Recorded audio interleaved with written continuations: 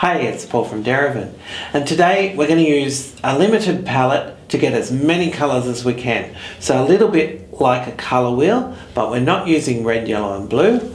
We're going to use magenta, cobalt teal and cad orange.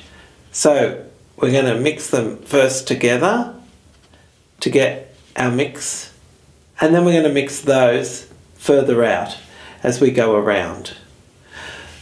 So let's have a look at how this works. So here's our chosen three colours. Cobalt teal, cad orange and magenta. Just mix them side by side first of all as you would on a colour wheel. But then once we've done that, what I want you to do is then mix those secondary colours. So just the ones side by side, but the two mixed puddles that are side by side. And we go around the outside again. So then what I want us to do is add some white to those mixes. And you'll see how varied we can get colour from just three original colours.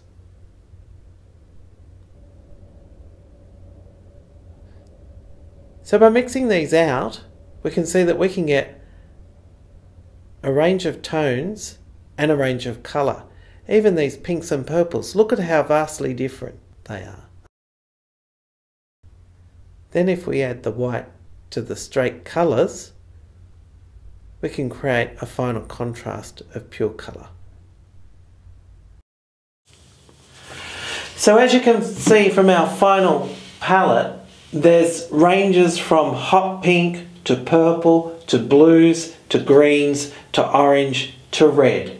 And yet we only really started with those first three, a magenta, a cad orange and a cobalt teal. So be sure to look out for our next video which is a painting using just these three colours. And thanks for watching.